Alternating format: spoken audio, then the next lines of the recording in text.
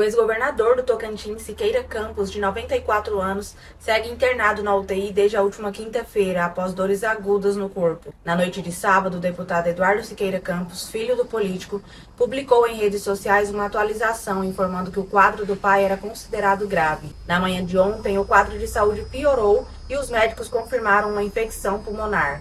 De acordo com o um boletim médico emitido ontem à noite, o estado de saúde do ex-governador melhorou significativamente em relação ao dia anterior.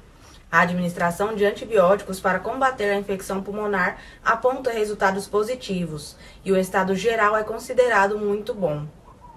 O político está lúcido, mas ainda não há previsão de alta hospitalar.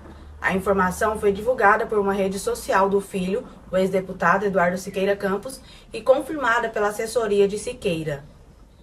Em nota, a família agradeceu o apoio, carinho e a solidariedade dos tocantinenses.